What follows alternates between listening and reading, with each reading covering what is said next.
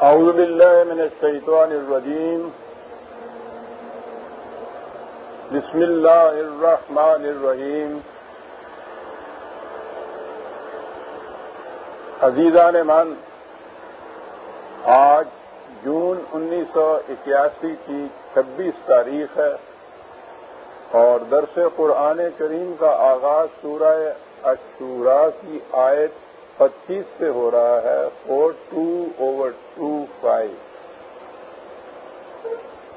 सबका आयत में एक ही नुकता जेर गौर आया था, और वो ये कि यहाँ कायनात में हक और बातिल का टकराव होता है। हक तमीरी नतज पैदा करने वाले नजरी तौर पर हों तो वो फार्मूले, कवानीन, कवायद थीरीज और वही जब अमल में आते हैं तो वो निज़ाम और उसके मुकाबल में तकरीबी नतज पैदा करने वाले यही चीज़ें। नजरी तौर पर भी टकराव इनका होता है, निज़ाम के एतबार से भी टकराव इनका होता है।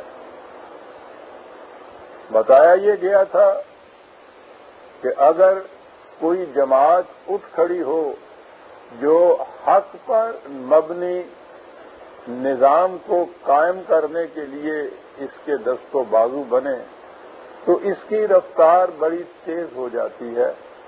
इंसानी हिसाब व शुमार के मुताबिक उसके नतज सामने आते हैं। अगर ऐसा ना हो तो फिर ये कायनाती तकाजे या कायनाती मजबूती कुतें उनके बल पर ये आगे बढ़ते रहते हैं। आगे तो इन्होंने बढ़ना है, गालिब तो इन्होंने आना है, लेकिन इनकी रफ्तार बड़ी सुस्त हो जाती है। एक एक दिन खुदा का हज़ार हज़ार, बल्कि पचास पचास हज़ार साल का होता है। अब जब ये कोई जमात उठती है तो ठीक है। आप देखेंगे कुरान करीम इंसान की कमजोरियों की हमेशा रियायत देता है। अपनी तरफ़ से पूरी सही अमल से काम लेना, पूरी पूरी कोशिश करना, लेकिन उसमें बाजुकात कुछ तकदीरी गलतियाँ हो जाती हैं। छोटी मोटी लगवशें भी हो जाती हैं। जिन्हें कुरान ने नमम कहकर पुकारा है। क्यों ही काबिल मुलामत की चीज़ें? और चूँकि उसका असूल मकाफात अमल का जो है, वो वज़न है। मान सकोलत मवाजी न हो मन खफत मवाजी न हो तो वो हर अमल का एक वज़न होता है।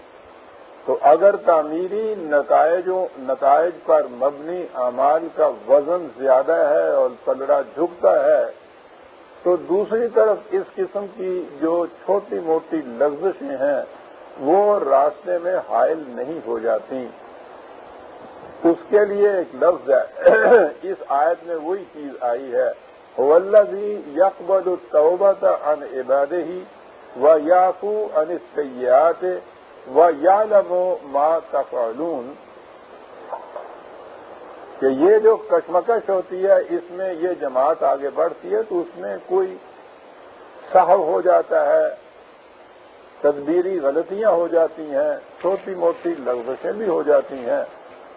पहली सूरत तो इसमें यह है, याद रखिए, जब भी कुरान कहता है ना कि ये इस किस्म की जो लफ्जें हैं जैसे कहा जाता है, उनसे मुआफी मिल जाती है मुआफी का सवाल नहीं होता। वो इसलिए अपने नतज तकरीबी नहीं मुरतब करके सामने आने देती कि वो जो तामीरी नतज वाले अमाल होते हैं, उनका वज़न बहुत ज़्यादा होता है। इन लसात यूसिब सयात कुरान ने कहा, असूल उसका है कि सयात जो है, नाहमवारियाँ कभी पैदा हो जाएँ तो उसके दूर करने का तरीक ये है कि तामीरी नतज पैदा करने वाले अमाल और ज़्यादा तेज़ी से किए जाएँ, और वजनी किए जाएँ।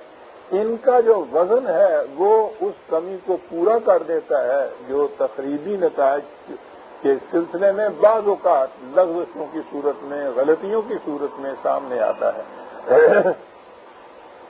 तो आप देखते हैं कि कुरान महज नजरी तौर पर एक बात असूली तौर पर एक बात नहीं कहता कि नहीं ये वो जमात होगी कि जिससे कभी कोई गलती नहीं होगी किसी किस्म की काबिल मुलानस की सरगत नहीं होगी। ये भी इंसानों की जमात है। ये होता है लेकिन असूल ये बताया और पहली चीज़ ये है यकबल तौबा यानी इसका एहसास हो, हो जाए कि यहाँ गलती की थी हमने मुझसे यहाँ लगभग हुई थी ये एहसास हो जाए। एहसास से एक नदामत हो, फिर उसके बाद ये हो कि मुझे इसकी इसलाह करनी है। इसलाह करने के लिए फिर पलट के उस मकाम पे जाए जहाँ से गलत लफ्ज न बख्शिश सही हो सकता है, न मुआफी सही हो सकता है। ये अफू का लफ्ज भी है जो कुरान में, हमने उसका तर्जमा मुआफी किया है माफ़ी के माने कुछ और होते हैं। वो तो ये होता है कि दूसरा रहम दिली से किसी की हालत पर तर्स खाकर जैसे वो माफिया मांगना कहते हैं हमारे यहाँ, वो माफिया मांगे तो उस पर फिर वो अजरा है तरह में सुसरवाना उससे कहो कि अच्छा चलो जाओ, छोड़ दिया तो हमने। ये बात नहीं है। निज़ाम अदल है, निज़ाम कानून है। उसके अंदर इस तरह से बख्शिश और इस किस्म की मुआफी का सवाल नहीं पैदा होता। सवाल ये भी एक अमली चीज़ है एहसास हो अपने गलत कदम के उठने का, उसके बाद इसलाह का इरादा हो, फिर वापस लौटे जहाँ से गलत कदम उठा था, फिर सही रास्ते के ऊपर गामजन हो। तो ये जो इसका अमल है, ये है जो उन नुकसान की तलाशी कर देता है जिनका इम्कान था इसके लफ्ज की वजह से सामने आने का। ये है वो तरीक ये जो लफ्ज कुरान का है याफू जिससे हमने मुआफी लिया है, उसके माने होता है कि आगे बढ़ जाना, दरगुजर कर देना, यानी किसी चीज़ का रुकावट न बन जाना रास्ते में। और उसकी शक्ल जो थी, वो कुरान ने बता दी। कि ये एक अमली चीज़ है ये करने की चीज़ है। ये बैठ के अस्तफुल्ला रब्बी मुकुल्ले जमदिन वाली तस्वीर फेरने का, का, का सवाल नहीं है। ये तो जिसे आप कहेंगे ना कि अनडू करने का प्रोग्राम है। जो पहले गलती हो गई है उसको अनडू किया जाएगा खुद किया जाएगा। इससे फिर आगे बढ़ा जाएगा। तो कहा कि हम जानते हैं कि किसी से जब कोई लगविश हो, अब यहाँ सवाल पैदा हो जाता है ना कि निहायत नेक नियति से वो इस रास्ते पर गामजन हो। जब ही ये सूरत होगी ना कि जहाँ एहसास होगा कि गलत कदम उठ गया, मैं तो गलत रास्ते पे आ रहा हूँ। ये तो उस गाँव को नहीं जाता जहाँ मैंने जाना है। इस एहसास के बाद ये सूरत पैदा होगी ना कि हो मुझे तो फिर पलटना चाहिए जहाँ से मैं गलत कदम की तरफ़ आया था। वहाँ आने के बाद फिर वो पूछेगा ना कि सही रास्ता कौन सा है। फिर वो सही रास्ते पे चलेगा तो जाएगा ना अपने, अपनी सही मंजिल के ऊपर। ये सारा कुछ इसे खुद करना होगा। वो जिसे खुदा की तरफ़ से रहमत या रियायत कहा जाता है, वो इतना ही है। यहूदियों के यहाँ एक कदम गलत उठने से उसकी तलाशी हो नहीं सकती। कंडेम्ड फॉर एवर जिसे आप कहते हैं। हमेशा के लिए रांदा दरगाह। उसके लिए उनको फिर ये अकीदा बनाना पड़ा कि बनी इसराइल की नस्ल से जो होगा, वो जन्नत में ज़रूर चला जाएगा। क्या किया जाए? वो देखा ना, ये जो प्रैक्टिकल अमली प्रोग्राम था, अनडू करने का अपनी गलती के नतज को, ये उन्होंने अपने यहाँ फरामोश किया तो उन वहाँ एक्सट्रीम से जाना पड़ा कि नहीं साहब गलती की तलाफी तो हो नहीं सकती। उसका तरीका ये है कि वो बनी इसराइल की नस्ल से हो तो हमारे बुज़ुर्ग, वो हमें फरिश्ते तो डाल देंगे जहन्नम में जल्दी जल्दी से। तो वो इतने में आ जाएँगे, वो कहते हैं, दो तीन दिन में ही आ जाएँगे वो। और हमें निकाल के ले जाएँगे। इसके सवा जेल में कुछ बात आ नहीं सकती थी कि क्या शक्ल इसकी फिर पैदा हो। ईसाइयत दूसरी एक्सट्रीम पे चली गई। उसने कहा कि अमल का काम का सवाल ही नहीं। सेंट पॉल के अल्फाज में कि अमाल के ज़रिए से जन्नत नहीं मिल सकती। ये तो खुदा के रहम के ऊपर है, मर्सी के ऊपर। वो सारा कुछ रहम से आगे अमल खत्म हो गया। पूरा गलत अमाल तो होते रहेंगे अफाल इंसानों से। उनकी तलाशी के लिए सही कदम उठाने का तस्वर उनके यहाँ भी नहीं रहा। वहाँ ये सूरत होगी कि मसीह, हज़रत मसीह सलाम के कफ्फार ईमान लाया जाए तो इससे जन्नत मिल जाती है। वो बनी इसराइल यहूदियों की नस्ल में पैदा होने से मिल जाती है। यहाँ हज़रत मसीह सलाम के कफारे पर ईमान लाने से मिल जाती है। अमल का सवाल दोनों में न रहा। ये तस्वुर चला आ रहा। था हिंदुओं का आवागमन या उनका तनासुक वो भी इसी मजबूरी का नाम है। कि पिछले जन्म के जो गलत कर्म, कदम थे, अमाल थे, कर्म थे, उनकी वजह से वो किसी जून में पैदा हो गया, गधे की जून में, बंदर की जून में, चूहे की जून में, ये है उनके यहाँ का। और अब इस ज़िंदगी के अंदर उस जून से निकल ही नहीं सकता। उसे ये भी इलम नहीं है कि मेरे कौन से वो जराइम थे जिनकी पादाश में मुझे यहाँ उसने चूहा बना दिया या गधा बना दिया। इसका भी इलम नहीं है।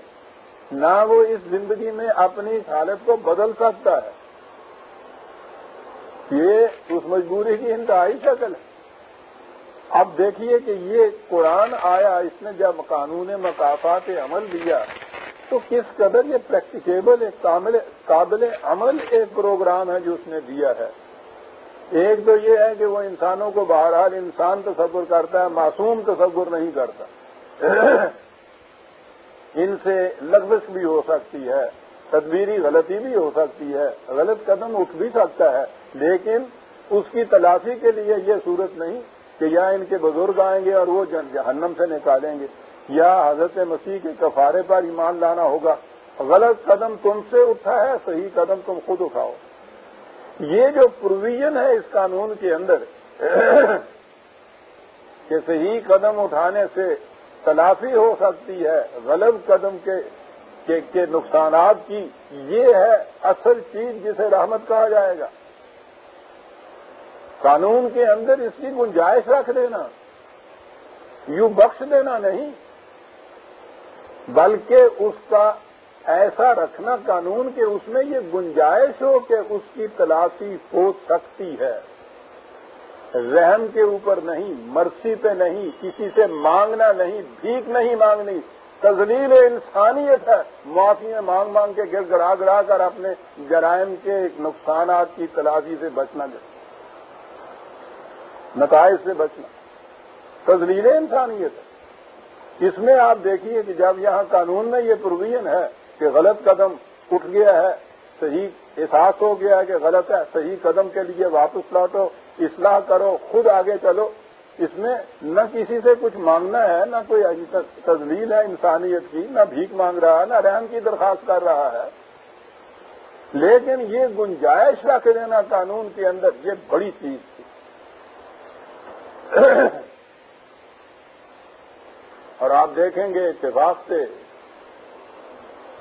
यही तलु इस्लाम जो आ रहा है, एक दो दिन में पहली तारीख को जो आ जाता है। इसमें मेरा एक मजमून आ रहा है, यही एक उन्वान था मेरे सामने। कुरान करीम ने हर जुर्म में इस किस्म की मुआफी की गुंजाइश रखी है। मैं मुआफी ये कह रहा हूँ कुरान की कर्म में। यानी हर जुर्म की सजा है और उस सजा से बचने के लिए रहम की दरखास्त नहीं की जाती। मैं फिर अर्ज़ कर दूँ कि किसी इंसान का किसी दूसरे इंसान से अपने लिए भीख मांगना जो है, ये तो शर्फ इंसानियत की तस्वीर है।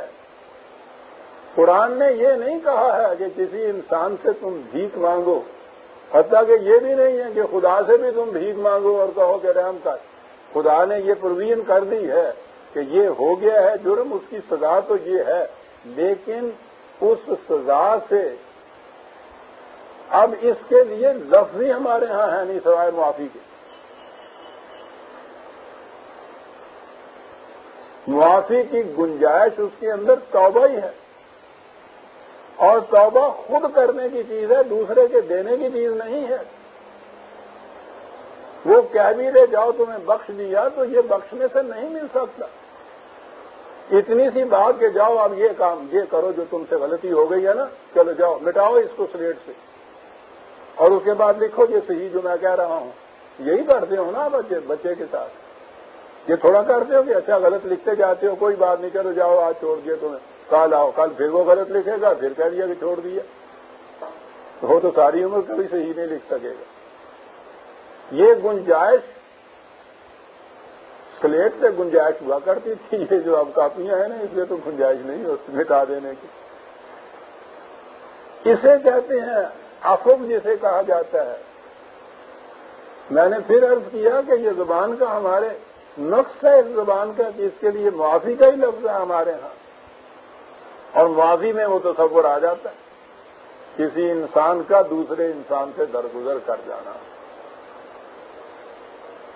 खुद अपने किए को अनडू कर देना। ये है एक लफ्ज अनडू कर देना। वल्लजी यकबल तोबत इबाद ही व याफू अनिसयात व यालम माता फालून क्या बात है? यालम माता फालून तुम इंसान हो, हम तुम्हारी कमजोरियों को भी जानते हैं। हमें ये मालूम है कि कैसे हो गया था ये जो कुछ तुमने किया है। अगर वो दानिस्ता बिल इरादा इस तरह से सरकशी से किया था तो और बात है। गलती हो गई थी, वो और बात है। हम जानते हैं। तोबा उसकी है। वह यस्तजीबुल्लजीन अमन अमिलहात व यजीद मिन फजल ही अगले ही, अगली ही आज ने बात साफ़ कर दी कि ये तोबा है क्या बात? आमनु हाथ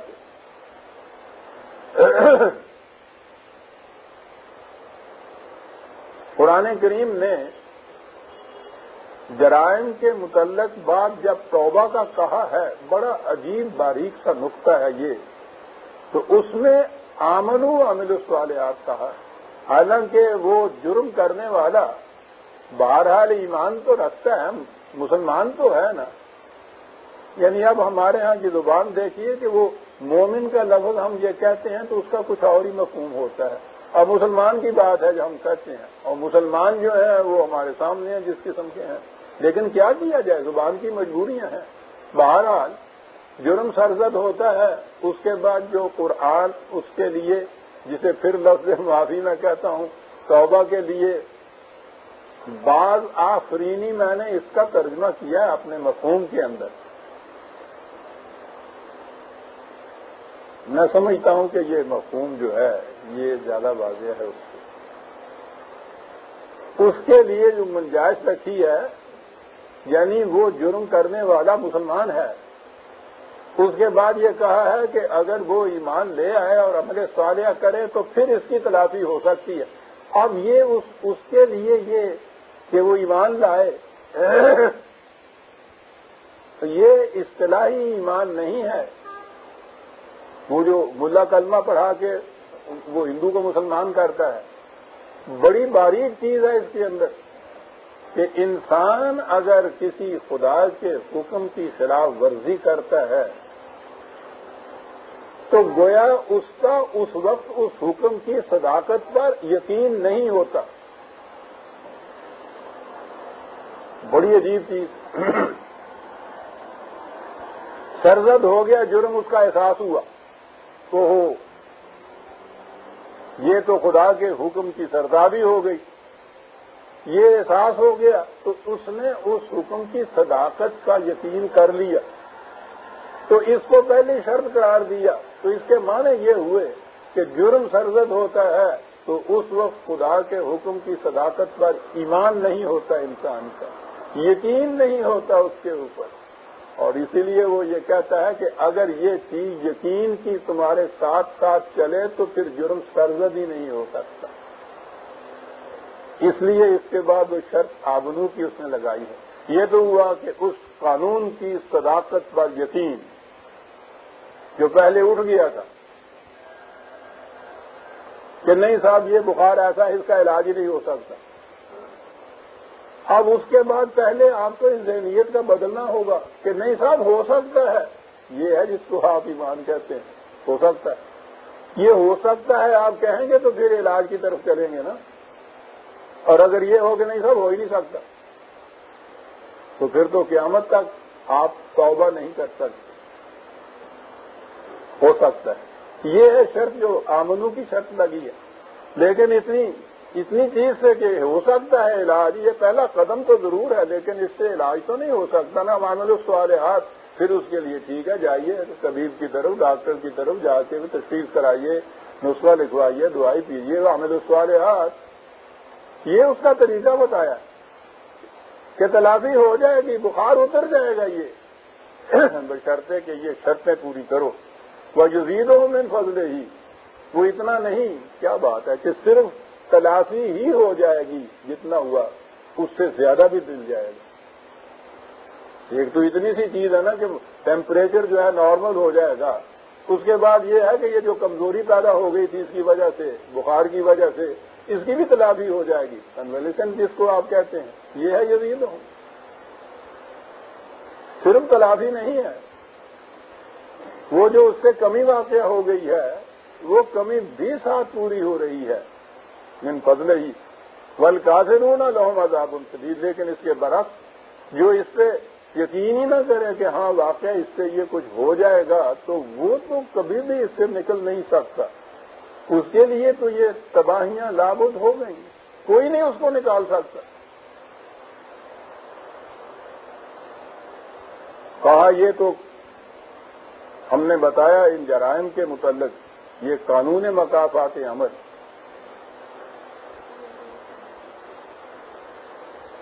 जिस तरह इंसान की कायनाती कानून में भी वसत की कुत की एक हद है उससे आगे नहीं जा सकता। यूँ ही जो मिसाल समझाया करते हैं कि एक टांग तो उठा सकता है आदमी, दोनों टांगे नहीं उठा सकता। आम फैम बात समझाने के लिए जैसे कहा, यानी एक हद है इसकी, सभी कानून के मुकाबले में। एक गिलास पानी का, दो गिलास पानी के, ज़्यादा से ज़्यादा तो पी के प्यास बुझती है, मटका पानी का तो मार देता है इंसान को। ये एक हद है तभी कवानीन के सिलसिले में भी।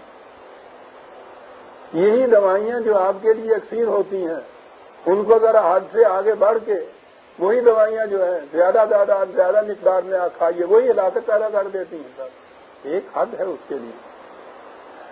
कहा ये हद जो है, इस किस्म की कि इंसान के इख्तियारात को एक महदूद रखा हुआ है। इसमें बड़ी मसलत है। वलाओ बसत अल्लाह रिजकल इबाद ही लबगाओ फिर अर्दे। कहा मसलन हमारा कानून ये है, ज़मीन है, कानून ज़रात है, ज़मीन में हाल चलाओ, खेती के काबिल बनाओ अच्छा बीज डालो, पानी दो, रोशनी हो, हरारत हो, हिफाजत हो, ये सारा कुछ हो। ज़मीन से फ़सल उगती है। कहने कहते हैं, कहा यह गया है कि वो फ़सल एक खास पैमाने के मुताबिक उगती है। तब पहले कुछ दस मन, बीस एकड़ था, पंद्रह हुआ, बीस हुआ, पच्चीस हुआ। कहा कि सारे का सारा खजाना जो ज़मीन के अंदर है, वो पूरे का पूरा नहीं उगल देती। अगर कहीं ऐसी सूरत होती कि ज़मीन के अंदर तमाम नौ इंसान के लिए, क्यामत तक के लिए जितना रिजक जो है, खजाइन कुरान ने जो कहा है, वो सारे का सारा कोई एक शख्स उठा के निकाल लेता कहने लगा वो तूफ़ान बचा देता दुनिया के अंदर। वो किसी को एक दाना खाने के लिए ना देता। ये चीज़ के जितनी जी चाहे मेहनत कर लीजिए, वो पंद्रह बीस मान या चालीस पचास मन ज़्यादा से ज़्यादा और खाद डाल दीजिए और मेहनत कीजिए। इतना ही निकलता है। इससे ज़्यादा नहीं निकलता। ये जो कंट्रोल रखा हुआ है हमने, हालाँकि ज़मीन के अंदर जो इस्तेदाद है पैदा करने की, वो तो वाकई लामतनाही है। पता नहीं, लाखों साल से इस ज़मीन के अंदर से ये अजनास निकल रहा है, फ़सलें निकल रही हैं, वो फ़सलें निकालती चली जाती है। तो समझाने को यूँ है कि जैसे इसके नीचे दबे हुए कुछ खजाने हैं वाकई वो लफ्जी खजाना है। याद आ गया मुझे। पंद्रह बटा इक्कीस है बात जी हाँ। वमिन शैन इल्ला इंदना खदायन हो वमान नजिल इल्ला बेकदर मालूम। ज़मीन के अंदर तो यूँ समझो जैसे खजाने दबाए हुए हैं इन चीज़ों को। यानी उसकी जो इस्तेदाद है ज़मीन की, फ़सल पैदा करने की, वो लामादूद है। लेकिन एक फ़सल में, एक वक्त में ऐसा नहीं होता कि उस सारे का सारा खजाना उलट के बाहर ले आए और उसके बाद वो तो हो जाए खत्म और ये जिसके हाथ में लग जाए बगाव से डर वो कहा वो तो उद्धम मचा जाएगा दुनिया में। एक दाना किसी दूसरे को नहीं देगा। ज़मीन खाली हो चुकी होगी, वहाँ से मिलेगा नहीं। कहा, ये इस्तेदाद मुलाजा सिरमाई ये जो इतना ही इस्तेदाद है कि जितना निकल रहा है, उस पर ही कोई हद नहीं मुकर ज़मीन की मिल्कियत की हमारे बातिल निज़ाम में। इसमें वो चीज़ पैदा हो रही है ना। ये गाँव का वो चौधरी और वहाँ का ज़मीन, इसमें फ़र्क क्या होता है? उसके पास दामादूद रकबा होता है।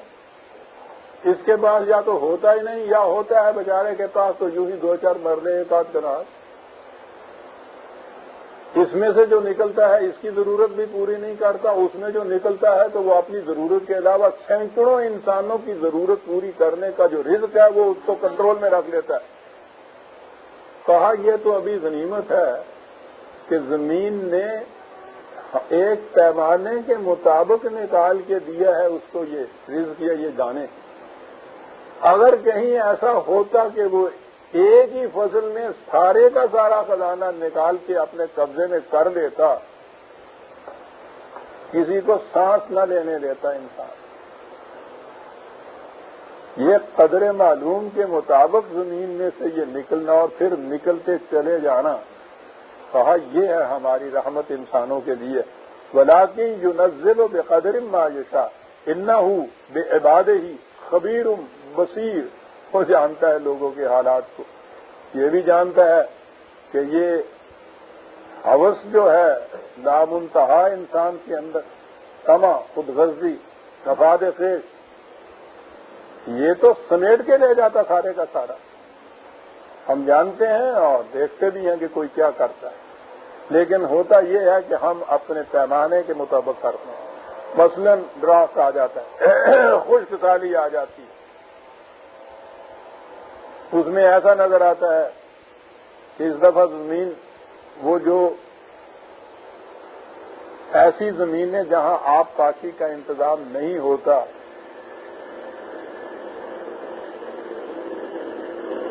सिर्फ़ बारिश के ऊपर, बारानी जमीनें उनको कहते हैं। उनका मदार होता है। कहते हैं कि एक चीज़ जो हम, बारिश नहीं होती तो आप देखिए किस कदर मायूस हो जाते हो तुम, कि इस दफ़ा इस ज़मीन से उतना भी नहीं निकलेगा।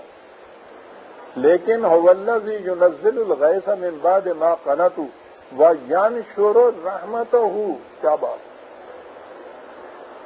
बारानी जहाँ तुम मायूस हो जाते हो कि बारिश नहीं हुई, ना हुई, अगर क्या एक हफ़्ता भी अगर उसमें बारिश ना हो तो वो फ़सल बोने का जो जमाना वक्त होता है, मौसम होता है, वो गुजर जाता है।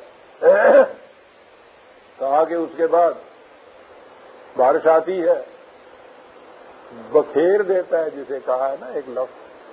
तो मैंने कहा, आपको बताया हुआ ना कि रहमत के माने सामान्य नशो नुमा है। हमारे यहाँ तो मफहूम ही कुछ नहीं ना इन चीज़ों का। कि वो अल्लाह की रहमत है तो वो करे। अब कुछ माने नहीं वही रहम से राम रहम किया उसने और जो रहम करने का उसका अमल है, उसको रहमत करके हमने पुकार दिया। वो ऐसा हम रहमत और बख्शीश के ऊपर चले हुए हैं, बिल्कुल बेकारी, अवधि बेकारी हो गया। था खुश हो जाते हैं, हमें यहाँ कहीं से कर्जा मिल जाता है या कहीं से कोई मदद मिल जाती है तो। उसकी रहमत ये भिकारियों की खैरात देने वाली बात नहीं। अजीजा ने मन, खुदा ने इंसान को पैदा किया है। इसके शर्फ और तकरीम को वो हर मकाम के ऊपर बरकरार रखता है। ये तो इंसानों के हाथों इसकी तस्वीर होती है, खुदा भी इंसान की तस्लीम नहीं करता। वो तो अपने हाथों से तबाह होने वाले बंदे जो हैं, तबाही के मौके पर उस वक्त कहता है, जहन्नम के किनारे के ऊपर खड़े होकर जा रहे हो, या हसरत लाले बाद मेरे बंदो, तुमने क्यों अपने आप को तबाह कर दिया? वो तो ये क्या दिया था उसको हालाँकि यहाँ हर मुजरम से नफरत की जाती कुरान ने कहा है कि जुर्म से नफरत करो। मुजरम से नफरत नहीं, वो इंसान रहता है फिर भी। उसमें इस्तात है तोबा की, वापस आ जाने की, इंसान बन जाने की, उससे नफरत नहीं। जो उसने गलत काम किया है, वो काबिल नफरत है। वो तो इतना शर्फ है, इंसानियत को बरकरार रखता है वीराने वाला इसलिए रहमत सामान नशोनुमा है वो सामान नशो नशोनुमा जो तुम्हारी कस्बो हुनर से नहीं मिलता, खुदा की तरफ़ से मिलता है। ये देखिए ना यहाँ कि तुम तो मायूस हो चुके थे कि आपके तो फ़सल नहीं होगी। हमने बारिश बरसाई, बखेर के रख दिया रिजक तुम्हारे लिए सामान नशो नशोनुमा ये है जिसे वो रहमत कहता है वल वलीउल हमीद। वली का लफ्ज तो पहले लाया सरपरस्त आगगार जरा सा इसके अंदर अपर हैंड जिसे कहते हैं ना, गलबे की शक्ल होती है इसलिए। ये कहने के साथ ही ये जेन में लाया कि जेन में ये ना आ जाए कि इस्तेदाद के किस्म का ये वली है। वलीउल हमीद नहीं, काबिल सताइश है। वो जिसकी वलायत पे तुम बेसाख्ता पुकारो थो कि क्या बात है इस वलायत की साहिब। सामान्य रिजक देने वाला। कंट्रोल जो उसका है, वलायत के माने अगर यहाँ ये करेंगे आप। हालाँकि इसके माने दोस्त के भी होते हैं, वली के माने। यहाँ वलायत के माने उस कंट्रोल के होंगे, वो जो उसने रखा हुआ है, ज़मीन पे कंट्रोल रखा है, बारिश पे कंट्रोल रखा है, ये है कंट्रोल और वो इसलिए था कि अगर सारे का सारा उगल देती, ज़मीन अपने खजाने तो इस उद्धम मचा देते ये लोग। ये तो कंट्रोल हुआ। लेकिन कंट्रोल जो है, अमीर है वो। और फिर यहाँ जो सीधा इस्तेमाल हुआ, इसके माने है मुसलसल सर मुस्तक के हम दो सताइश मैंने अर्ज़ किया हुआ ना कि हमद के माने तारीफ़ भी नहीं है। बात और के ही निकल जाएगी। मैं अपने मुतालिक नहीं कह रहा अजीजा ने मन इन कुरान के अल्फाज के सही मफहूम को समझना हो तो मेरे लगातल कुरान को देखिए। उसमें ये चीज़ मैंने वाजे की है कि ये अल्फाज नहीं कॉन्सेप्ट हैं। तस्वुरात हैं कुरान की तालीम के, नजरियात हैं कुरान की तालीम के। ये लफ्ज हमद एक लफ्ज नहीं जिसके माने आप तारीफ़ और सतश कर सकें, तर्जुमा नहीं हो सकता किसी और ज़ुबान के अंदर। ये एक तस्वुर है। बहरहाल हमी वमिन आ जाते ही खलक समावत वल अर्द। वमा बस्ता फ़ी हिमा मिन दाबत वहवा अला जमे हिम इदा यशाओ कदीर। अजीजा ने मन ये वो आयत है, जिसके मुतलक मैं पहले भी कहा कर रहा हूँ। हम तो हज़ार बरस से तेरह सौ साल से तलावत करते चले जाते हैं। हर हरफ की दस नेकियाँ जो हैं, वो हमारे नामा अमाल में लिखी जाती हैं। वो बैंक में अकाउंट खुला हुआ है हमारा तो उसमें तो वो लिखी जाती हैं। इतना ही मकसद है इससे। नाजरा पढ़ते चले जाइए, हर हर्फ के के एवज दस नेकियाँ लिखी जाएँगी आपके यहाँ तक। ठीक? कुरान ने तफक्र और तदब्बर का हुक्म दिया ये कुरान समझ ही आ सकता है, फ़िक्र ये बात जो थी, हमारी समझ में तो नहीं आई, क्योंकि फ़िक्र और सोचना तो मज़हब में हराम हो जाता है ना फिर। ये तो दीन का तकाजा होता है। सोच ही नहीं। उन्हें मालूम हुआ कि कुरान क्या कह गया है। सुनिए, कुरान ने कहा क्या है, फिर ये बात आएगी कि उन कौमों की समझ में कैसे बात आई।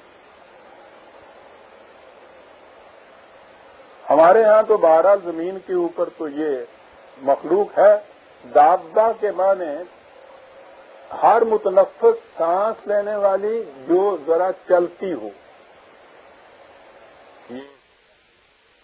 मुतनफस को पहली चीज़ है, मुतनफस के माने सांस लेने वाली। तो सांस से तो ज़िंदगी हुई, और ये है कि वो खा रेंग के चले, खा पाँव से चले, खा दो पाँव से चले। तो ये बड़ा जामिया लफ्ज है दाबा का कुरान के अंदर। तो हम, हमने तो इसी ज़मीन के ऊपर ये कुछ देखा। हमारे यहाँ की मज़हब की जो फ़िक्र की सतह थी हज़ार तक बरस पहले की, उसमें इतना ही था कि ये आसमान एक शीशे का डल है, बहुत मोटा। और ये जो सितारे नज़र आते हैं आपको या चाँद वगैरह, ये उसके अंदर हीरे जड़े हुए नग जड़े हुए हैं शीशे के डल के अंदर। और ये चाँद और सूरज वो तो अब तो नाग नहीं, वो तो फिर बड़ी बड़ी चीज़ें हैं जो कुछ भी हैं। तो वो बड़े, यानी ये कि ये कुर्रे हैं। अर्ज़ से कहीं लाखों गुना बड़े। ये सिलसिला कायनात ये कुर्रे गर्दिश कर रहे हैं। इनका एक दूसरे के साथ कोई ताल्लुक है। ये जो फलकियात का निज़ाम है, ये हज़ार बरस में हमारे सामने नहीं आया था। और ये कोई जुर्म या गलती नहीं, इंसानी इल्म की सतह अभी इतनी थी। यूरोप में भी, मगरब में भी जो इतना इस वक्त एडवांस हो चुका हुआ है, इस साइंटिफिक मालूमात में सत्रहवीं सदी से पहले, उनके यहाँ भी इसी किस्म के तस्वुर उनके मदद की गिरफ्त जो थी, बड़ी शदीद थी, वो इसलिए कि थियोक्रेसी थी। उसके साथ हुकूमत की कुतें मौजूद थी। जब भी मजहबी पेशवाइयत के साथ हुकूमत की कुतें शामिल हो जाएँ तो इनकी जहालत और इनका जुल्म शिद्दत अख्तियार कर लेता है। दोनों चीज़ें जहालत भी। तो यूरोप में ये जो गैलीलियो को कहा कि फांसी दे दो, गिरा दो, इसको टावर के ऊपर मौत की सजा का फतवा सादर कर दिया। किस जुर्म में? कहता था, ज़मीन गर्दिश करती कॉपर मीज तक को जला दो, ज़िंदा को जला दो। क्या, किस जुर्म के अंदर? कहता ज़मीन गोल है। इस किस्म की चीज़ें जिन्होंने कही। उनकी मजहबी अकीदे के खिलाफ जाती थी ये बात। तो जब ये कैफियत हो कि जिसने जरा भी वो जो गैलीलियो ने कहा था, उसको कहने लगे थे कि अब भी मान जा, तौबा कर दे। कहने लगा कैसे तौबा करूँ? मेरी आँखें देख रही हैं कि ज़मीन गर्दिश कर रही है। क्या बात थी इन लोगों की साथ तो वहाँ ये कैफियत थी। सोचना हराम था। इसलिए कोई ऐसी बात जो उनके हाँ के अकायद के खिलाफ जाती थी, वो इलाहाद था, जुर्म था इर्तदाद था उसकी सजा मौत थी। तो इसके इसके माने ये है कि एक कदम आगे नहीं फ़िक्र इंसानी बढ़ सकती थी। जहन इंसानी जामिद था। उस सतह के ऊपर, जिस सतह पे उनके यहाँ मसलन कोई 600 साल या एक हज़ार साल पहले का था, हमारे यहाँ फ़िक्र जामिद है। एक हज़ार साल पहले जहाँ फ़िक्र थी इंसान की, वही चीज़ है। कोई बात जो नहीं कहिए उन्होंने कहा कि सल्फे सालहीन के मसले के खिलाफ यानी उस फिक्री सतह के खिलाफ जो हज़ार बरस पहले थी। इसलिए हमारे जेन में तो ये आ नहीं सकता था। किसी के जेन में कुछ आती थी, इसलाह की शक्ल तो वो डर जाता था कि मैंने ज़ुबान पे ये लफ्ज लाया और मुर्तद का फतवा सादर हुआ और मुर्तद की सजा तो कत्ल आप हैरान होंगे, ये कत्ल की सजा मुर्तद की यही नहीं था कि किसी कायदे कानून के मुताबिक किसी अदालत से फैसला हो, फिर हुकूमत की तरफ़ से कत्ल की सजा मिले। मुर्ताद का खून मुबाह होता है, यानी जिसका जीता है उसको कत्ल कर दे। वो अपने यहाँ बैठे हुए फतवा सादर कर दे। ये नहीं कि उसने मज़हब तब्दील कर दिया है, वो हिंदू हो गया है। नहीं ये जो अकायद मुतवारस चले आ रहे हैं या अजमाए उम्मत जिनको कहते हैं, उनके किसी अकीदा के खिलाफ, किसी का अकीदा, ये साबित कर दिया जाए, बैठे हुए खुद ही। तो इर्तदाद का फतवा सादर हो गया। और इर्तदाद के बाद मुर्ताद की सजा, कत्ल और खून उसका मुबाह, यानी जिसका जी चाहे कत्ल कर दे उसको। तो आप सोचते हैं कि इसमें इंसानी फ़िक्र तो मुंजमिल होकर रह जाएगा।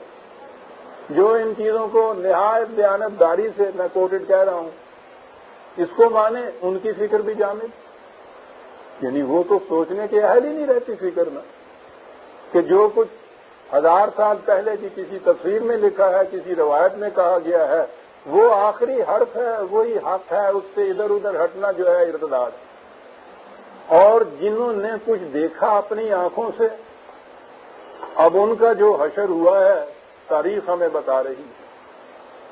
यानी एक मुर्तादगी सजा आपने देखा हो। उनके पीछे सुधावर खान ढूंढते वो जंगलों में भाग जाते थे घरों में छुप जाते थे। वहाँ से निकाल निकाल के उनको कत्ल किया जाता था। तो फिर किसकी ज़रूरत थी कि अगर वो बात समझ भी गया है तो वो ज़ुबान पे लिया तो वहाँ अगर फ़िक्र जहादत की वजह से जामद थी यहाँ वो फ़िक्र जामिद नहीं थी, महबूस थी, जकड़ी हुई थी, इसके दाव की बना पर। तो बात तो वहीं रही। बात आगे चली नहीं। कोई जिन्होंने ये समझ भी लिया था कि ये कुर्रे हैं बड़े बड़े वो भी ज़ुबान पे नहीं ला सकते। लेकिन यूरोप ने कोई 200 साल पहले तंग आकर इस्तेदाद से थियोक्रेसी के मजहबी पेशवाइयत के। उन्होंने सिरे से मज़हब का लिबादा ही उठा के फेंक दिया। सीधी बात, न रहे बाँस, न रहे न बजे बांसुरी। सेकुलरिज्म आपने नाराज़ कर दी कि जाओ तुम गिरजे में वहाँ जाके प्रीच किया करो। और इस 200 साल के अंदर आप देखिए, ज़मीन की सतह नहीं, वो आसमान पे जा पहुँचे। और जब वो आसमान पे पहुँचे तो फिर आपके यहाँ से मज़ाक हो रहा था। अब भी वो हैं जो कहते हैं कि नहीं, गलत है, ये चीज़ प्रोपेगंडा ही है। कोई नहीं जा सकता आत्मा चाँद के ऊपर।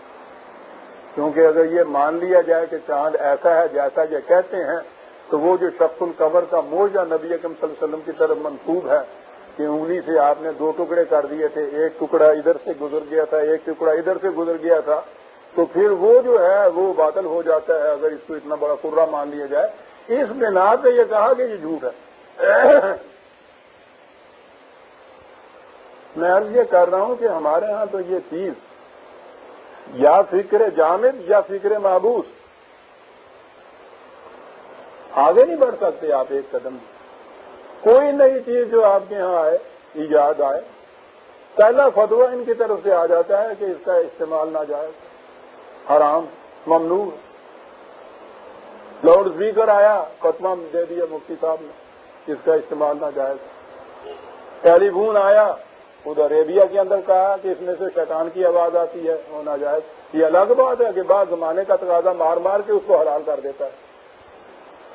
झटका कह दीजिए, हलाल ना देंगे सब इस्तेमाल कर रहे हैं फिर उसके बाद। लेकिन पहला फतवा यही है कि आराम नाबीनाओं के लिए इतनी बड़ी इस दौर की ये अजीजा ने मान ईजाद नहीं इख्तशाफ है कि मुर्दे की आँख, अंधे की पेशानी में वो लगा देते हैं, वो देखने लग जाता अल्लाह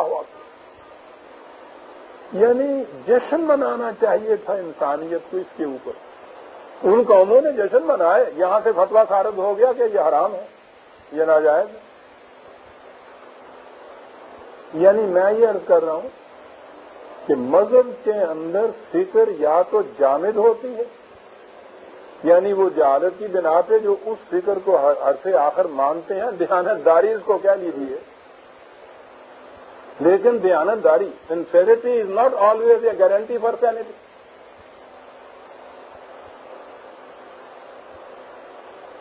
और अगर कोई समझता है तो फ़िक्र उसकी महबूस होती है।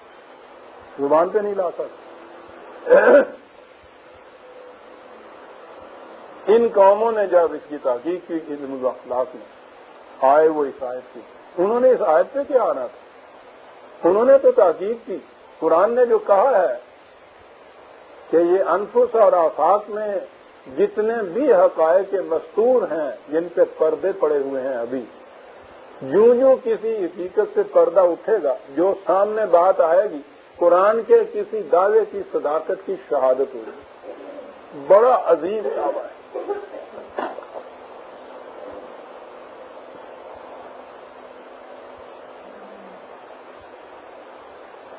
कुरान की ये आयत अब मैं इधर आता इन चीज़ों को भी कुरान ने आयात खुदाबंदी कहा। यानी किसी हकीकत तक पहुँचने की निशानियाँ, इलामात, बड़ी चीज़ है। कहा यह भी है कि उसने अर्ज़ और समाज की तकलीफ़ की, यही कोई छोटी बात नहीं थी। मैंने कहा करता हूँ ना कि किसी चीज़ को अदम से वजूद में लाना, यानी कुछ है नहीं और उसको यूँ पैदा कर देना। तो ये ये खुदाई कर सकता है, जेन इंसानी में तो ये आ ही नहीं सकता ना। यही कोई छोटी चीज़ नहीं थी। वमा बस्ता फ़ी इमाम इन दाबा ये है वो तो पहला। अर्ज़ और समाज समा आसमानी कुर्रों को कहता है अर्ज़ ये जो नीचे कुर्रे फिर मैं इधर आ गया अगर तो ये तो मजमून ही दूसरा निकल आएगा अगर आ गया तो। हम तो ये समझते हैं, ये है ज़मीन, ये ऊपर आसमान। कुरान ने कहा है कि ऐसी बात नहीं है। हर अर्ज़ का एक आसमान है, हर आसमान की एक अर्ज़ है। जो उस कुर्रे से नीचे का कुर्रा है, वो उस कुर्रे की ज़मीन है।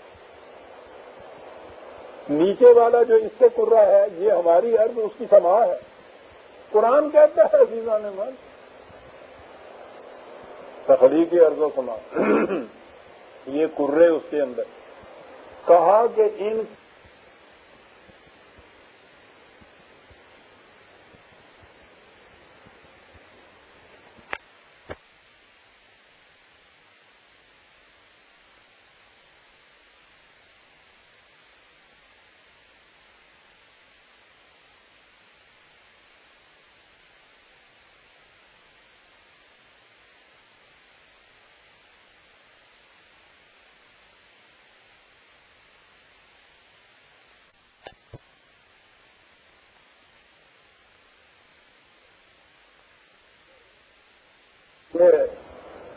फ़िक्र इंसानी जो आज़ाद हुई है यूरोप की, और वो अर्ज़ से उठ के सभा की तरफ़ गए हैं तो अगर के चाँद के मुतलक तो वहाँ जाके उन्होंने देख लिया कि उसमें अब इस्तेदाद नहीं है लाइफ की, ज़िंदगी की। लेकिन वो अभी से जो कुछ उनके अहाता तजुर्बा में या इकतशाफ में आया है वो ये कह रहे हैं कि ये कुर्रे ऐसे हैं, उनमें ऐसे कुर्रे हैं जिनके अंदर ऐसी चीज़ें नज़र आती हैं कि उसमें लाइफ मुमकिन है। ज़िंदगी का इम्कान है उनके अंदर। आज वो कह रहे हैं, और फिर वो इस इम्कान को एक हकीकत देखने के लिए बढ़ रहे हैं उनकी तरफ़। और आगे और आगे। है जूसजू के खूब से है, खूब कर कहा? और बढ़ रहे हैं उन कुर्रों की तलाश है जिनके अंदर ज़िंदगी उन्हें मिलेगी। कुरान ने 1400 साल पहले ये कहा कि अर्ज़ और ये आसमानी कुर्रे उनमें ऐसे हैं जिनके अंदर दाबा है। पहली चीज़ तो यही कुछ काम नहीं। आगे बढ़ी। वो कुर्रे, यहाँ ये अर्ज़ तो ही नहीं हो सकता था कि इनमें कोई रबता भी पैदा कभी हो सकता। वह हुआ अला जमे हिंद इजा ये शाह कदीर और वो इस पर भी कुदरत रखता है कि जब उसकी मशीयत के प्रोग्राम में जब ये चीज़ आएगी वो इन दोनों में रबता पैदा कर देगा। अल्लाह राबता ही नहीं, बल्कि जमा हूँ। इकट्ठा भी कर देगा। चौदह सौ साल पेश कर हम तो आज भी अजीजा ने मान, वो गए और हमने झुटलाया। से गलत है ये जो कह रहे हैं प्रोपेगेंडा। हम तो आज भी ये कह रहे हैं। लेकिन वो कौम जिसने फ़िक्र की और उनमें से जिसके सामने कुरान आया, मैंने वो बुकाए का हवाला दिया करता हूँ ना वो, the Bible, the Quran and science का। वो इन आयतों पे आता है तो वो रक्स करने लग जाता है। और हमें नहीं, दुनिया भर के साइंसदानों से वो कहता है वो सोचो तो सही, चौदह सौ साल पहले ये बात कोई इंसान कैसे कह सकता था? इसलिए मैं ईमान लाता हूँ कि ये इंसान का कलाम नहीं।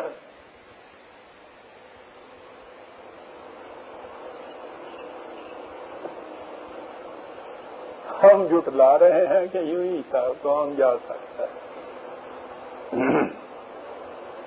वो ईमान लाता है। तो ये इतनी सी चीज़ जो उसने ये कही है कि अर्ज़ में भी और इन कुर्रों के अंदर भी इम्कान है इसका। है, बल्कि इम्कान नहीं पी है मान इंदाबर है। तो ये चीज़ जो है, उसके इम्कान तक तो हम पहुँच गए हैं। अब अगली चीज़ जो कुरान ने कही थी कि ये हो सकता है कि वो जो मशीयत का प्रोग्राम, यानी कायनाती कवानीन की रूह से, ये भी हो सकता है कि ये एक दिन न सिर्फ़ रबता पैदा हो जाए, बल्कि एक दूसरे के साथ इकट्ठे भी हो जाए। अगर चाँद के ऊपर ये मुतनफिस होता दाबा और जो यहाँ से गए थे इंसान या जा रहे हैं तो जमा हम तो वहाँ सामने आ जाती बात। लेकिन रबता तो आज भी कायम हो गया। और उसके बाद आगे वो बढ़ रहे हैं। वीज़ा ने मन ये कुरान पे तो ये कौमें ईमान लाएँगी। कुरान ने कहा यह है कि फ़िक्र की रूह से इसमें ईमान लाया जा सकता है। फ़िक्र जामिद और फ़िक्र महबूस वो क्या ईमान लाएगी? महबूस फिर भी दिल में तो मान लेगा तो मान पे नहीं ला सकता। लेकिन अजीजा ने मान, कुरान तो समझ में उस वक्त आ सकता है, जब फ़िक्र और तदब्बर से काम दिया जाए। अनकुश और आफाक की जो मस्तूर हकीकतें हैं साइंटिफिक तरीके से उनके पर्दों को एक एक करके उठाया जाए जब भी तो लफ्ज उन्होंने डिस्कवर बड़ा उमदा लफ्ज उन्होंने इस्तेमाल रखा है अपने। बड़ा साइंटिफिक लफ्ज है वो। ईजाद नहीं करते इन चीज़ों को। वो सिर्फ़ डिस्कवर करते हैं, पर्दा उठाते हैं उसके अंदर। ये कुरान का लफ्ज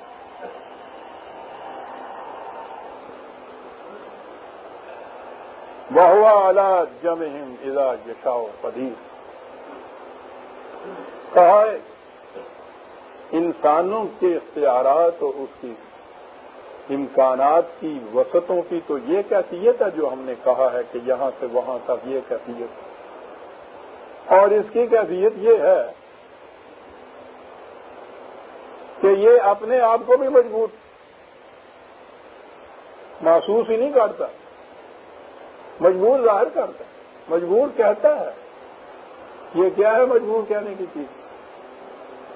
ये तकदीर का मसला। इंसान मजबूर महज। जो होता है उसकी तरफ़ से होता है। राज़ी बरदा मौला की मर्ज़ी से होता है। बंदा बशर एक पत्ता भी उसकी इजाज़त के बगैर नहीं हिल सकता सीधी सी बात। लेकिन जरा गौर कीजिए, कुरान दुखती रग को कैसे पकड़ता है? इंसानों को जो खुशहालियाँ आती हैं, दौलत कमाते हैं, जो लोग ये कुछ तकल्लफन तो वो बहरहाल कह देते हैं कि साहब, ये खुदा की देन है। ये वो देन का लफ्ज भी बड़ा मानी खेद होता है कि जहाँ वो अकाउंट फार ना कर सकेगा अपनी दौलत को कि कहाँ से आई है। वो खुदा की देन होती है।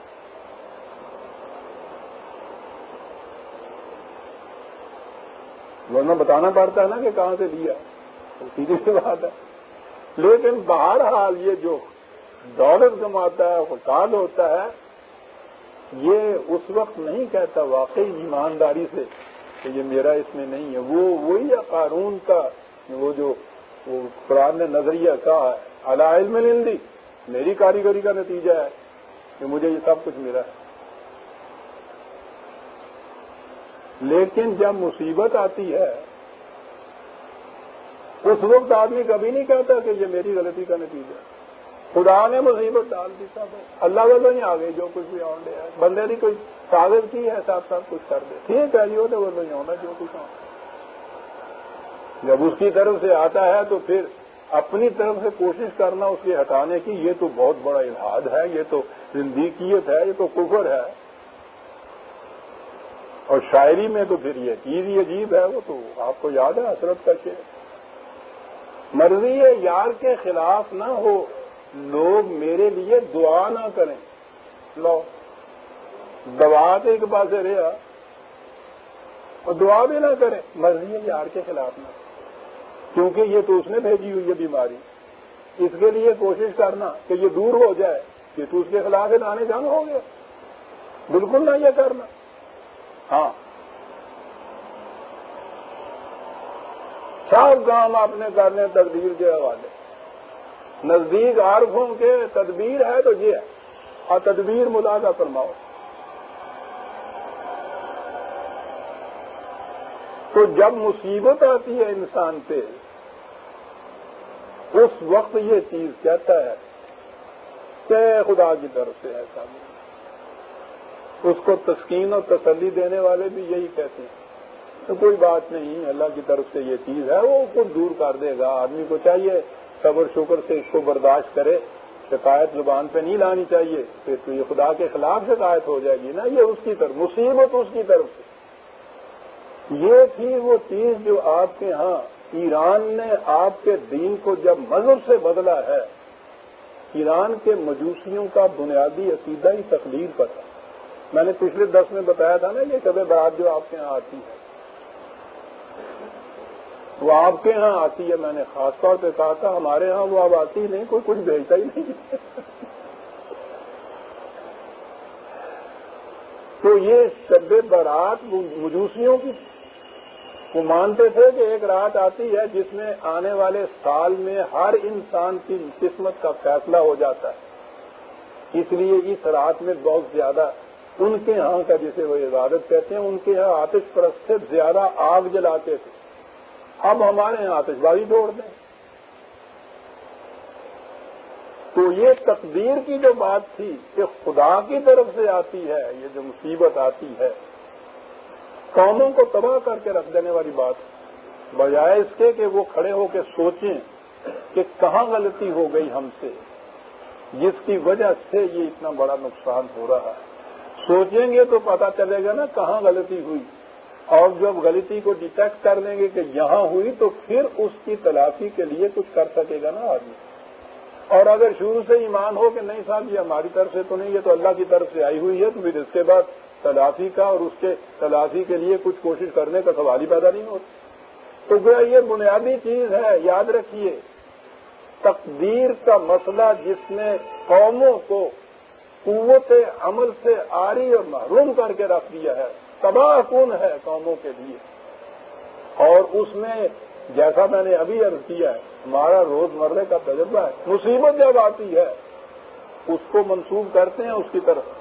लंबी चौड़ी बातें नहीं है अजीजा ने मन तकदीर के मुतल बासों के लिए तो मुझे भी एक किताब लिखनी पड़ी किताब तकदीर इसलिए कि इसके खिलाफ वो जो ईरानी अकीदा है तकलीद का, उसके लिए हमारे यहाँ इतना लिटरेचर है। कमरे भर जाए किताबों से, जिसमें यह कहा गया कि सब कुछ खुदा की तरफ़ से होता है। तो मुझे तो बारह लिखना पड़ा। कुरान की रूह से। लेकिन दर्श में तो लिखने की बात नहीं है लंबी चौड़ी। कुरान तो एक फिक्रे में बात कहा जाता है। सारे मसले का हल अजीजा ने मन चार लफ्जों में, वमा असाबकुम मिन मुसीबत फबमा कसबत ऐदीकुम। हर मुसीबत जो तुम्हारे ऊपर आती है, तुम्हारे अपने हाथों की लाई हुई होती है। चल कुरान है अजीजा ने मान। वल्फियाना बातें करते चले जाइए इसके ऊपर। इनकान महदूस क्या होता है? इनकान मुतलब क्या हो? मैंने अर्ज़ किया है कि फिर तो इंसान जब बैठा हुआ हो, खान वेलिया वजीफे मिलते हों। फिर कहे कि? वेली, जट्टी उन वेले। अगले बच्चे, भाई, वो वेले की गल समझ नहीं रहे हो कि वेले की होता है? वो एक, वो छोटा सा हमारे यहाँ, होता था बेलना उसे कहते थे हाथ से यूँ करते थे। तो ये कपास जो आती है, उसमें बिनौले भी होते हैं। उन गुड़ेवे कहने। तो वो बिनौले अलग करने होते हैं तो फिर वो रुई बनती है। फिर उनको वो रुई को काटते हैं, फिर वो कपड़ा बनता है। तो पहला उसमें स्टेप होता है, बिनौलों का अलग करना। तो अब तो ये बड़ी बड़ी जिनिंग फैक्ट्रियाँ लग गई ना उस जमाने में फैक्ट्रियाँ नहीं थी। हर घर फैक्ट्री होता था। तो इतना सा बेलना होता था, वो बैठी हुई उसको हाथ से ये काटती थी, वो रुई जो थी नहीं, कपास जो थी, उसकी जिन गुरकियाँ कहते हैं, वो उसमें दिए जाती थी और उसमें से वो वो बनौले अलग हो जाते थे, रुई अलग हो जाती थी। एक ऐसा अमल था जिसका नतीजा निकलता था वो होना था। तो वो हमारे यहाँ उसने ये कहा कि वेली, यानी बेकार, जटी, जिसको काम कुछ नहीं था, वो क्या कर रही है? वो कपास नहीं बेल रही, वो ऊन बेल रही है। यानी ऊन में जो कहने बड़े में कहने नहीं होने लेकिन बेल नहीं पी जाती। तो क्यों बेल रही है? उनके का वेल ही रही ये जितने कमरे भरे हुए हैं ना, आपके यहाँ लिटरेचर ये सारे वेले ना काम। वजीरे लगे हुए हैं बादशाहों की तरफ़। और वो जानबूझ के वजीफे लगा देते थे कि मस्त रखो, जिक्रो फ़िक्र सुबह गाई में इन्हें। पुख्ता तर कर दो मिजाज खान का ही में इन्हें। खाने को दिए चले जाओ और इनसे कहो कि उन वेल दे तुरे जाओ।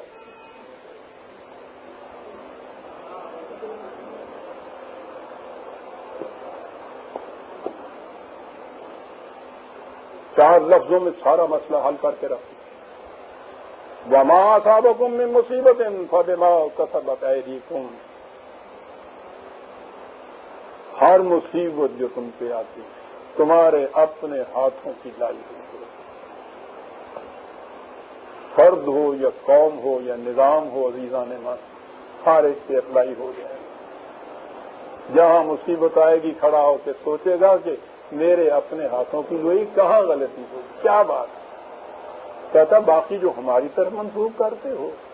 हम मुसीबतें नहीं लाया करते इंसानों के लिए। ये बात नहीं। ये भी चीज़ नहीं है कि अपने हाथों से तुम इस तरह से गलतियाँ करो और नतीजा भी ना भुगतो। कुछ थोड़ा सा कुछ हम किया करते हैं। अभी अभी जो मैंने कहा था कि वो जरा सी जो तदबीरी गलतियाँ होती हैं, थोड़ी सी लफ्जिश होती है, उसके नतज से दरगुजर करने की बात, वो भी उस तरह से कि वो तौबा और असला वाली बात कहा यह सब कुछ तो तुम्हारे अपने हाथों से होता है। वह याकू अन कसीरन। और हम तो इनमें से कई ऐसी छोटी मोटी होती हैं। वो याकू ऐसे होते हैं ना, जैसे हमें कुटों की मार के अगे लग जाने चले ये बड़ा अजीब तस्वर है। ये लफ्ज है ना, किसी से आगे बढ़ जाना। माफ़ रखिएगा। एक तो है ना, जाते हुए वो तो पकड़ लेना, उसको हवालात में ले जाना। एक ये होती है कि उससे ये कहा है फिर न करना। बुरी बात है ये बात। ये है जिसे कहते हैं, आगे बढ़ जाना।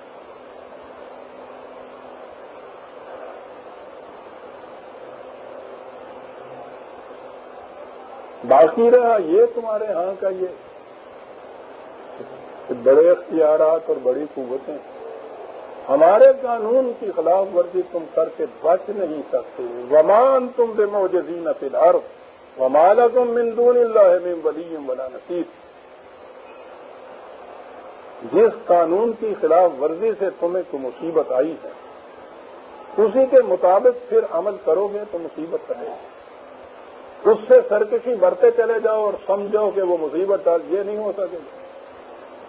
बीमारी का जो सबब है पहले उस सबब को दूर करना पड़ेगा उसको तो उसी तरह से जारी रखो और समझो कि बीमारी से आराम हो जाएगा। कहते ये हमारे कानून के साथ मुकाबला करते होते तुम इससे शिकस्त नहीं दे सकते। याद रखो इसकी। और फिर, इसका इजाला, इसका इलाज वो भी कानून खुदाबंदी की रूह से होगा। उसके सिवा कोई दूसरा उसको दूर करने वाला नहीं। वो दूर करने वाला है मुसीबतों को। मुसीबतें लाने वाला नहीं है। लाते हो तुम अपने हाथों से। दूर होती हैं उसके कानून के मुताबिक अमल करने से। कहता हमारी वो रहमतें। ये बात कि हम तो इंसानों के ऊपर उनका सामान रिस्क हम पहुंचाते हैं, रियायतें उनको देते हैं। इतना कुछ उनके लिए यहाँ कुछ दिया हुआ है तो ये बात नहीं कि खुदा ने जी हमें पैदा क्यों कर दिया, पैदा कर दिया तो फिर ये मुसीबतें कैसे पैदा कर दी? हर एक रोता है। अगर ये चीज़ चूँकि सामने नहीं होती कि हमारा अपना लाया हुआ है, ये इज्तमाही मुसीबतें जो है, उसमें फर्द वाकई सही रोता है। उस बेचारे का तनहा अपनी लाई हुई ये मुसीबतें नहीं होती। गलत निज़ाम की मुसीबतें लाई हुई होती हैं।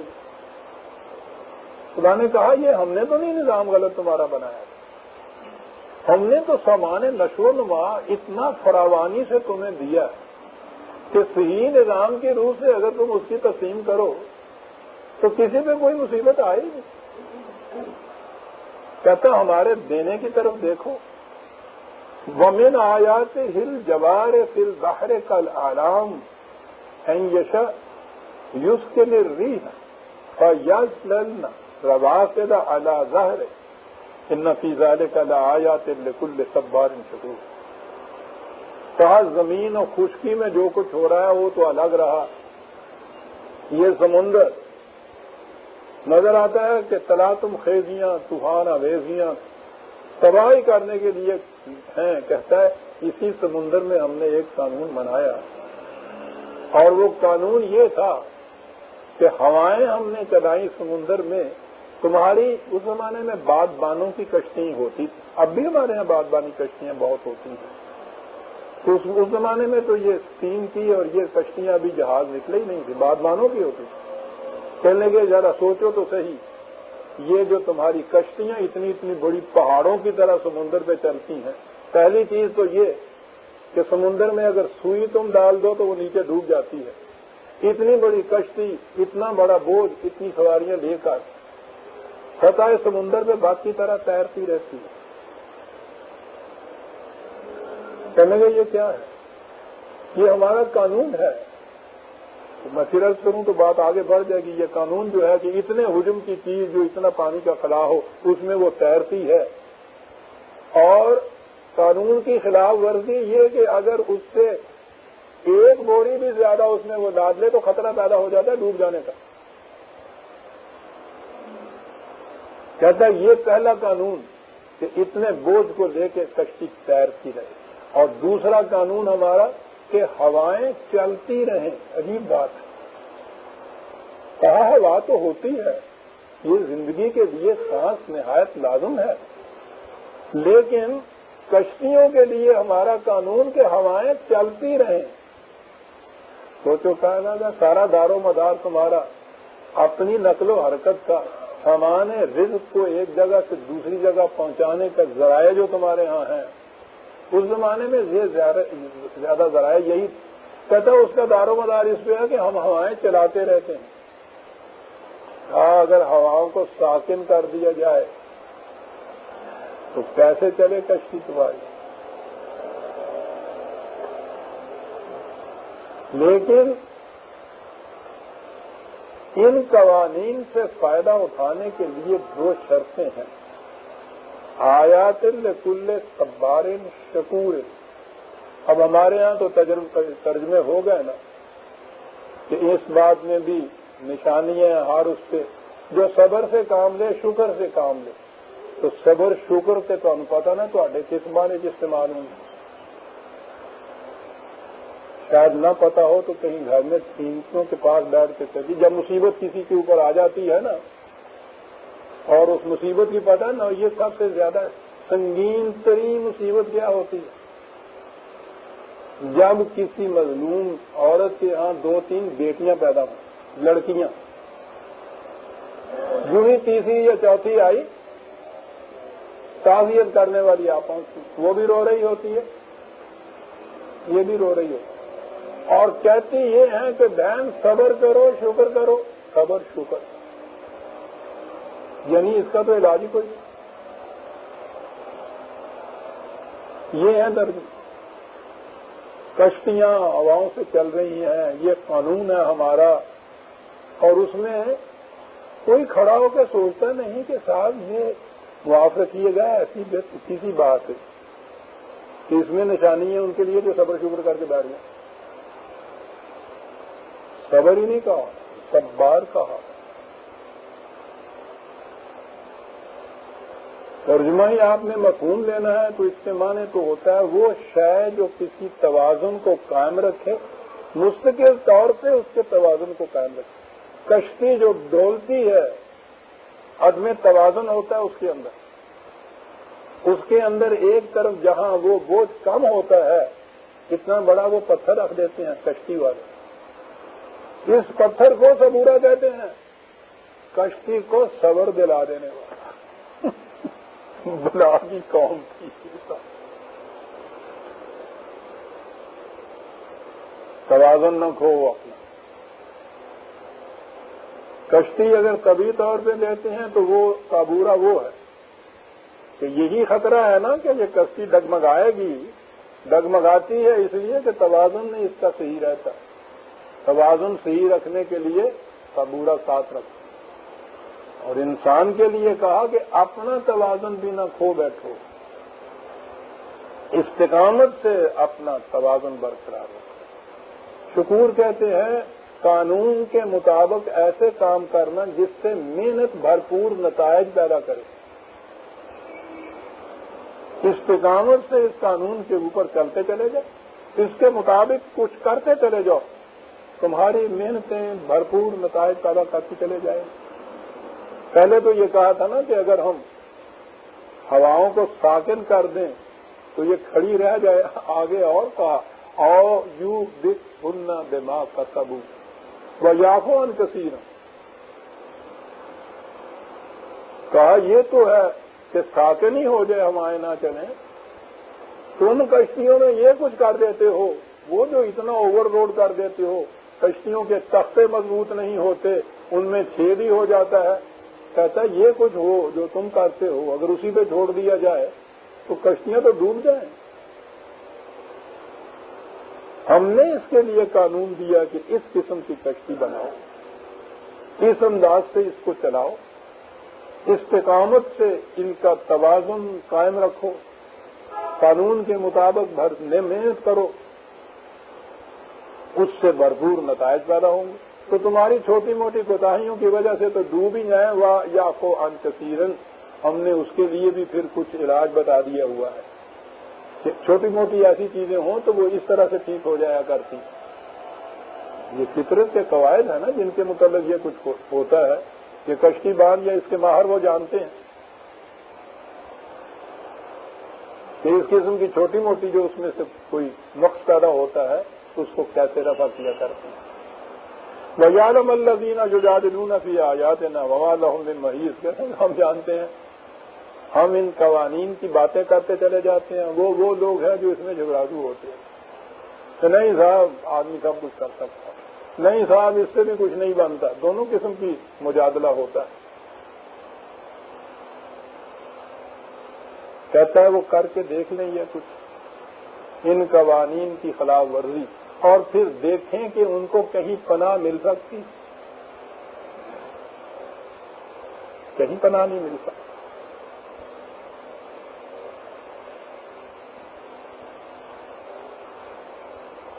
वमा ऊती तुम मिन शैन फमता हयात दुनिया वमा इन दल्ला खैर व अब लिल्लजीना आवम व अला रबिम यतवक्लून ये सारा कुछ गिरा दिया ज़मीन से पैदा होने वाला रिज फरावानी कवानी ने फितरत मवासलात के लिए ये सारे जराए और इसबाब ये सब कुछ गिरा दिए कहा सुन लो ये तभी कायनात के, तभी कवानीन तुम्हारी, तभी ज़िंदगी के लिए हैं।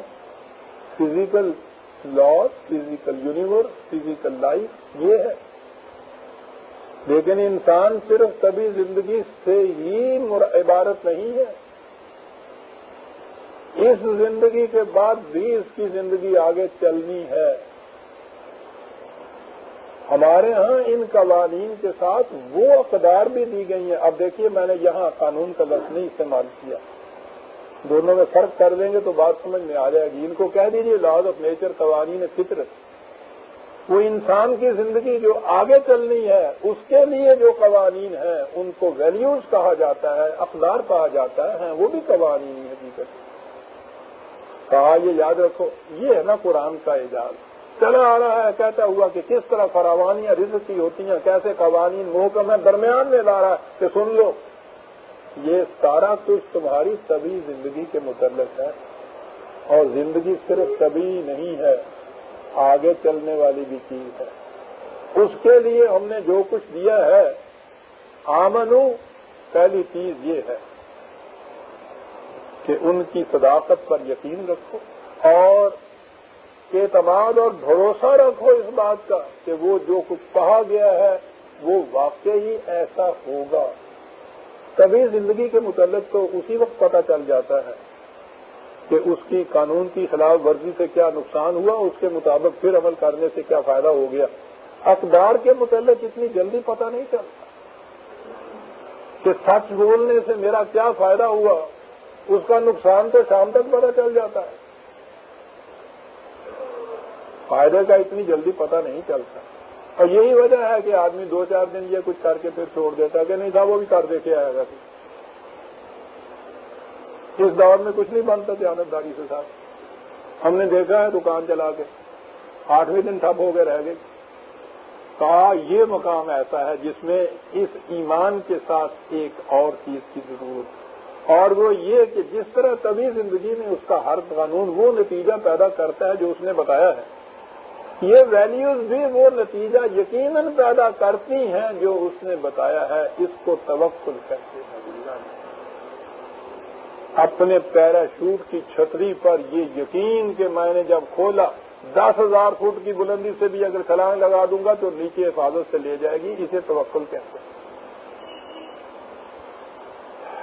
इसके लिए वक्त है। वल्लजीन यज तन रूना कबायर अल इसमें वल फवाहिशा। पहली चीज़ ये है, वो जो कहा है कि लफ्जें और जराइम, इनमें कुछ फ़र्क करता है शराब। जराइम तो वो कानून के, ये जो अहम बुनियादी कानून है, उनकी खुली हुई खराब वर्जी है। और ये बाकी चीज़ें जिनको मैं वो लमम का लफ्ज ही आपके सामने क्यों न ले आऊँ?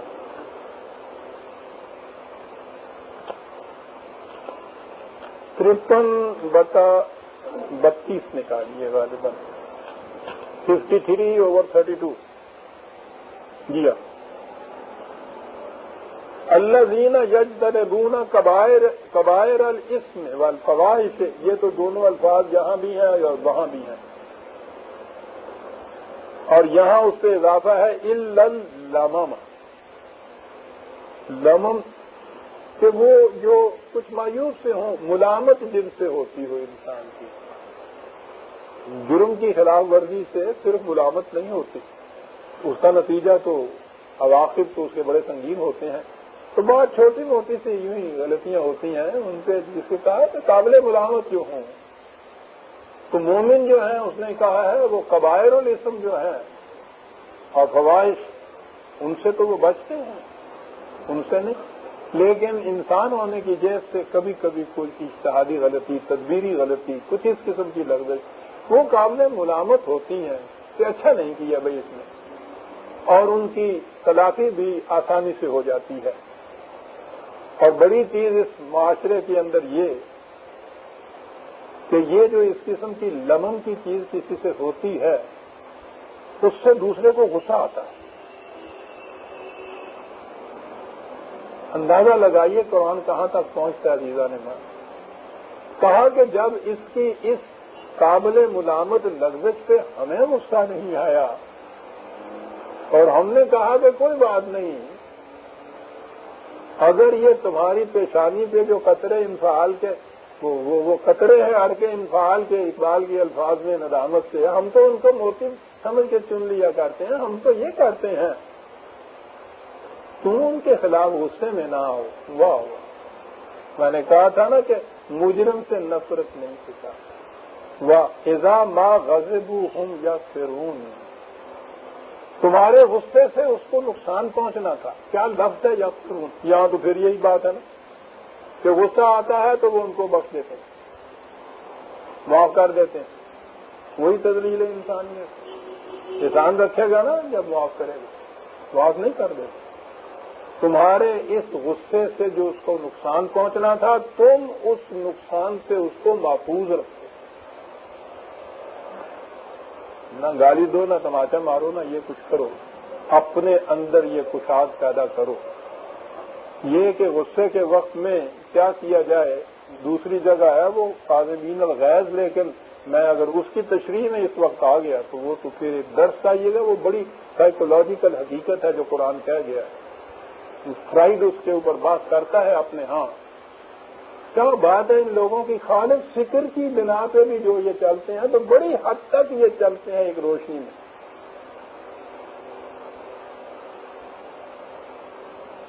वो कुरान की तस्वीर जो है कि जब ये रोशनी दे देते, देखते हैं तो उसमें चंद कदम चलते हैं और उसके बाद अंधेरा हो जाता है, फिर के रह जाते हैं। तो ये खाली अकल की रोशनी की रहनुमाई में चंद कदम तो चलते हैं ना ये। ये लोग इस चीज़ से पहुँचे थे। गुस्सा क्यों आता है? साइकोलॉजिस्ट इसका नतीजा इंसान पे क्या होता है? ये जो कहते हैं गुस्से को पी जाओ गुस्से को हमारे यहाँ काजमीन और गैर जो लफ्ज आया है, गुस्से को दबाने वाला आया है। बड़ा गलत ही तर्जमा नहीं है, बड़ा ज़्यादा नुकसानदेह तर्जमा है। और नुकसानदेही इसकी साइकोलॉजिस्ट ने हमारे जमाने में इन लोगों ने बताई कि रिप्रेशन जो है सप्रेशन से भी आगा, वो है। वो कितना ज़्यादा नुकसानदेह होता है इंसान के लिए। बहरहाल, मैं फिर बताऊँगा कि कुरान ने गुस्से के आलम में क्या कहा कि क्या किया करो। यहाँ कहा यह है कि दूसरे के, उसकी जरा सी लग्जत से तुम्हें गुस्सा आया। उस गुस्से से नुकसान न पहुंचाओ। हमने कहा है कि से हम भी उनसे दरगुजर कर देते हैं।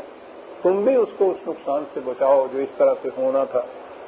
और फिर मोमिन की ये निज़ाम जो इन्होंने कायम करना है, इसमें ये तदबीरी गलतियाँ छोटी मोटे साहब निसियान की बातें। इनसे भी कैसे बचा जा सकता है? अब आई निज़ाम की बात, वल्लजीन सजाबुल रब हिम मोमिन का शहार अजीजा ने मान आयत के अंदर आया है, और ये फिर सियासी एतबार से बड़ी बुनियादी आयत। पहली चीज़ जो है सजाबुल रब हिम शर्त ये है कि कवानीन खुदाबंदी की तरफ़ आवाज़ जब दी जाए तो लब्बैक कहें उसके ऊपर। खुदा के कवानीन की तरफ़, कुरान करीम की तरफ़। आवाज़ दी जाए, इसकी तरफ़ लब्बैक करें। अकाम सलात इसके भी मैं तफसील में नहीं जाऊँगा। बारह बार ये अर्ज़ कर चुका हूँ कि नमाज़ के इज्तमात अपने मकाम से हैं, अहम हैं, ज़रूरी हैं इस्लामी निज़ाम में। लेकिन वो सिर्फ़ इकामत सलात ये पंज वक्त नमाज़ जिसे आप कहते हैं, यही इज्तम नहीं है। पूरे के पूरे इस्लामी निज़ाम के कायम करने के लिए भी ये इतलाह है कुरान की। चलिए आगे चलिए, जो मैं बात कह रहा हूँ। कि ये लफ्जें जो हैं, उनसे कैसे बचा जाए? छोटी मोटी बातें भी न हो किसी तरह से। यानी ह्यूमनली पॉसिबल जिसे कहते हैं ना, इंसानी तौर पे मुमकिन है जो बात। कुरान वो कहता है, क्या है वो? तरीका? अमरो हम शूरा बैना हम तनहा अकेले ही फैसला ना कर लिया करो। इनका निज़ाम बाहमी मुशावरत पर कायम होगा।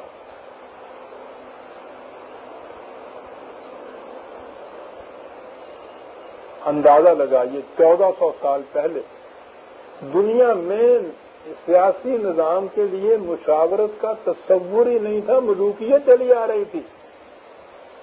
मलूकियत में मुशावरत के क्या मान उस जमाने में ये चीज़, और फिर मुशावरत आपको मालूम है इसकी अहमियत। हजूर नबी सल्लल्लाहु अलैहि वसल्लम इस इस्लामी निज़ाम या इस्लामी ममलकत के पहले सरबराह थे। मोहब्बत वही, खुदा की तरफ़ से वही नाजिल होती हजूर सरबराह इस ममलकत के। हम अगर इनफरादी तौर पे या जाती तौर पे सोचते, अगर कुरान की ये बात ना होती तो हम यकीनन इस चीज़ को अपने लिए जुज्व ईमान बना लेते कि हजूर का हर हुक्म जो था, वो इन मोमिन के लिए, वो फरीदा था। सवाल ही नहीं था कि उसके मुतल कुछ सोचते कुछ बात करते। ठीक है, वो हुक्म देते थे और उसकी इतायत करते। लेकिन कुरान ने ये बात नबी एकम वसल्लम से ही कहा माफ़ रखिएगा व शाविर हम फिल अमर। रसूल वसल्लम से हुक्म है कि इन मामलात में अपने इन रुफका से मशवरा किया करो। और फिर तरबियत नबवी भी थी, अजीजा ने मन, वो तो रसूल है, नबी है, जिन पर ईमान ला के एक शख्स मुसलमान होता है। जिनके मुतलक कुरान में ये है कि मोमिन का शार ये है कि जब रसूल कोई फैसला कर दे किसी मामले का तो यही नहीं कि उसकी वो आतायत करे। बादुल ना खास्ता। सुम्मा ला तजदू फ़ी कलूब ही महाराजम मिम्मा का जाता अपने दिल की गहराइयों में उसके खिलाफ गिरानी महसूस न करें। मोमिन ये है। तो इनकी तो ये कैफियत थी, जब फैसला कर देते हजूर। इन से हजूर से कहा जा रहा है कि इन लोगों से मशवरा किया करो। वो जो कहते हैं ना कि कुरान के तवाबी नबी अकम वसल्लम जो कुछ इरशाद फरमाते थे, कहते थे, वो भी वही होता था। सोचिए तो सही कि वो भी वही था तो ये मशवरा किस बात में था? इनसे मशवरा किया करो। ये है तरीका, वो जो छोटी मोटी इश्तहादी गलतियाँ तदबीरी साहब रह जाते हैं ना। बामी मशवरे से उसमें से बहुत का इजाला उसी वक्त हो जाता है। अमरोहम शूरा बैना तो जिसे इस्लामी निज़ाम आप कहेंगे, बुनियाद उसकी ये है कि वो उम्मत के मशवरे के मुताबिक कायम होगा। और हर मामले में उम्मत का मशवरा दिया जाएगा। और उसमें रसूल वसल्लम को भी मुस्तना जब नहीं किया गया तो कोई हस्ती भी मुस्तना नहीं उससे हो सकती। पहली बुनियादी शर्त ये है। और फिर वही दुखती हुई रग वो जो सब कुछ समेट के रखना लेने वाली बात है, बिल्कुल नहीं। वमिम्मा रजक ना हम युनफून रजक ना हम हमने जो कुछ दिया है उनको, उसे वो समेट के नहीं बैठ जाते, उसे खुला रखते कि जिसकी ज़रूरत है, वो उस ज़रूरत को पूरा कर दे। कहा यह है निज़ाम। आगे और भी दी हैं इस निज़ाम की शर्तें, लेकिन ये बुनियाद है। आवाज़ दी जाए कवानीन खुदाबंदी की तरफ़ लब्बैक कहे। निज़ाम कायम करे, वो जिसमें हर फर्द इस निज़ाम की, इन कवानीन की अतायत करता चला जाए। और ये निज़ाम कायम करे बाहमी मशवरे से। रसूल से भी हुक्म सल्लल्लाहु अलैहि वसल्लम और उसके बाद उम्मत से भी हुक्म। और जो कुछ इसको सामान रिज्क मिलता है, उसको समेट के ना बैठ जाए, वो खुला रखे जरूरतमंदों के लिए। इसके बाद कहा कि फिर लफ्जिश का इम्कान बहुत कम रह जाता है। ना तो सियासी लफ्जिश होती है और या ना इनफरादी होती है, वो जो मफाद परस्ती और गर्ज आपकी खुद गर्जी की बिना पे होती है। जो कुछ है उसको खुला रखने से।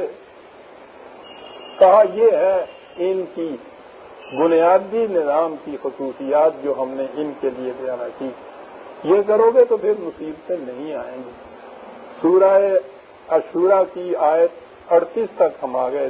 ने मन, उनतालीस से आइंदा हम लेंगे। रबरा तकबुल मिन्ना, इन्ना का शुक्रिया।